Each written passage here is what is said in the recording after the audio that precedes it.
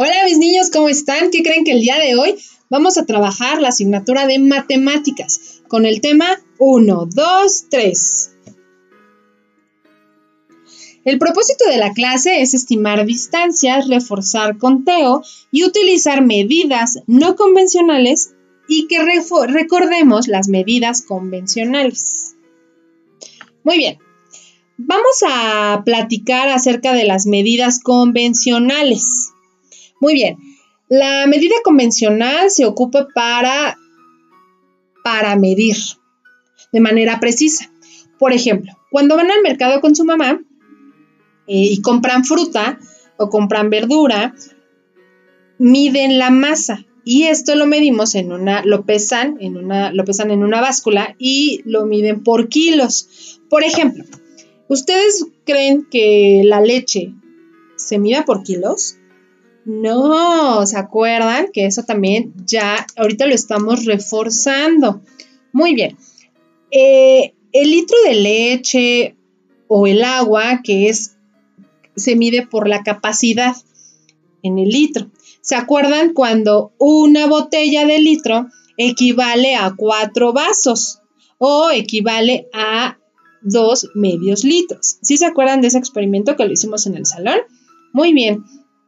Es muy importante que ocupar estas medidas obviamente nos dan una, cantidad precisa.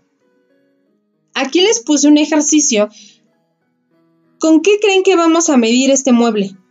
¿Con la balanza o con el metro? Muy bien, con el metro. ¿Y la sandía, con qué creen que se pesará? Muy bien, con la báscula. Muy bien. Muy bien, chicos. Estas son medidas convencionales y esto nos ayuda a tener cantidades precisas. Esto sí tiene un valor, ¿se acuerdan de los centímetros, metros? Bueno. Por ejemplo, si alguien tiene temperatura, ¿cómo se mide? Muy bien, con el termómetro. Muy bien. Excelente. Las medidas convencionales, las medidas no convencionales son, sirven para calcular, se utilizaban el cuerpo humano para medir distancias largas y se, contabilizaban los pasos que daba en el caso de, medirlo con, con, el pie. Eh, también se puede medir con cualquier objeto.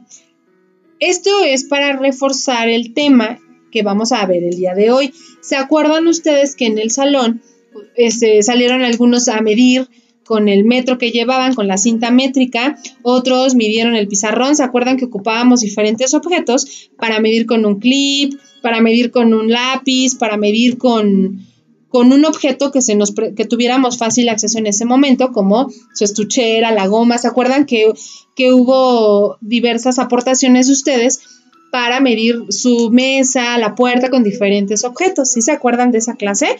Yo sé que sí, porque estuvo muy divertida. Bueno, y también recuerden que algunos salieron a medir los escalones, salieron a medir este, la puerta, la banca con la cinta métrica. Muy bien. Pues vamos a trabajar la página 160. ¿Qué es lo que vamos a hacer? Bueno, pues en la actividad vamos a, modificarle un poco y vamos a realizar las actividades que vienen en esta parte con letra roja. Invita a jugar a tu familia. Marca una línea y cuenta uno, dos, tres y van a correr. Ok. Y el alumno deberá calcular con una varita o tira de papel y estimar la distancia que hay entre el alumno y el jugador Vamos a poner un ejemplo. Vamos a imaginar que están, que va a jugar cuatro jugadores, ¿no? Entonces tú vas a decir, a la cuenta de tres, todos se van a poner en una línea, en una línea que tú marques con un gis. Previo a eso, tú vas a decidir si tienes una varita que te encuentres en algún lado, o puede ser un lápiz, o puede ser, no sé, una tira de papel de acuerdo a la, a la medida que tú quieras asignarle y entonces van a salir todos los jugadores, van a colocarse en la línea que tú vas a, trazar. Y entonces, cuando tú cuentes tres, ellos van a correr y tú vas a estimar la distancia que hay entre tú y el jugador. Yo creo que esta actividad te va a hacer recordar otra actividad que hicimos en el, en el patio de la escuela, porque también ya jugamos a estimar cantidades. Muy bien, bueno, pues ahora lo vas a aplicar con tu familia. Muy bien, cuando termines, vas a, vas a realizar esta tablita que viene aquí y vas a colocar, vas a completar la información de acuerdo a la, a la actividad que tú realizaste con tu familia. Vas a escribir quiénes fueron los jugadores, cuánto estimaste quiere decir. Por ejemplo, vamos a imaginar que tú le vas a, vas a estimar la cantidad con tu hermano y tu hermano corrió y al, colocarla, tú vas a decir 20 varitas, ah, bueno, o 20 tiras de papel. Bueno, le pones aquí 20, 20 varitas o 20 tiras de papel. Bueno, pues entonces, cuando ya lo hayas colocado, después vas a comprobar cuántas varitas o cuántas tiras de papel en realidad corrió. ¿Y cómo lo vas a hacer? Bueno, vas a señalar tu lugar a partir de donde estabas tú y, y hasta dónde corrió tu hermano. Lo señalas con un gis, por ejemplo, y después colocas con tu, con tu varita, vas a ir contando cuántas varitas midió realmente y es la manera en la que vas a registrar esta información, por favor. En la página 160 viene la indicación de manera similar, pero como ahorita estás en casita, bueno, pues ahora vas a aplicar el juego que realizamos en, la escuela, lo vas a aplicar con tu familia y vas a completar esta tabla, por favor, y la haces en tu cuaderno. No olvides escribir la fecha. Muy bien, y vamos a seguir con las medidas no convencionales. Vas a marcar en una vas a marcar en una hoja o en una cartulina, lo que sea de, más fácil acceso, y eh, vas a marcar una cuarta. Tu manita la vas a colocar en la forma en la que está aquí la imagen. Y entonces vas a marcar una cuarta. Esto se llama una, esto se llama cuarta. ¿Ok? Y después vas a marcar un palmo, así como está la imagen. Muy bien, ya que hayas marcado tu, man, tu cuarta y tu palmo con tu manita, vas a invitar a jugar a tu familia también para que, bueno, obviamente te ayude a comprobar cuánto miden. Bueno, vas a completar esta tablita, vas a encontrar en tu casa o vas a elegir tres muebles que tengas en casa y vas a medir. ¿Cuántos palmos ocupaste? Vamos a imaginar, voy a escoger mi cama. Ah, bueno, pues mi cama mide con el palmo, que es este, cuántos palmos ocupé para medir mi cama y cuántas cuartas ocupé para medir mi cama. ¿Ok? Y vamos a ver cómo completaste esta tablita. Esta tablita también le vas a, al finalizar de, que hayas hecho la actividad, al finalizar la actividad, realizas esta tabla en tu cuaderno y vas a pegar en tu cuaderno tu cuarta y tu palmo, ¿ok? Por favor, si quieres seguir jugando eh, para medir más muebles de tu casa, bueno, pues todavía no lo pegues y puedes seguir jugando para calcular. Y también otra actividad que puedes realizar es que tu papá o tu mamá o, o un integrante de tu familia también dibuje una cuarta y un palmo. ¿Y en qué se diferenciará con la tuya? Y entonces ahí también puedes comparar cuántos, cuántas palmas tuyas o cuántas palmas de tu mamá o de un integrante mayor mide tu cama, por ejemplo. ¿Y qué es lo que ocurre? ¿Por qué ocurrió esto? Muy bien, la, si, tú, si tú decidiste hacer esta actividad y realizar esta comparación, puedes escribírmelo en tu cuaderno y qué te pareció la actividad.